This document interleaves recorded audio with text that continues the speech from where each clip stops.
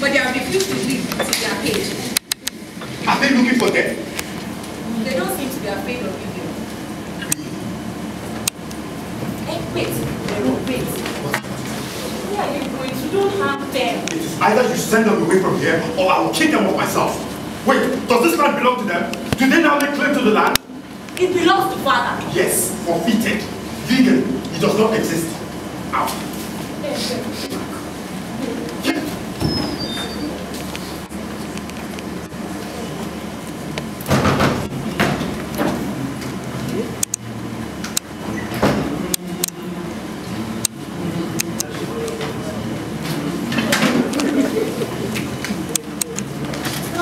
specialists have time for a word of Oh.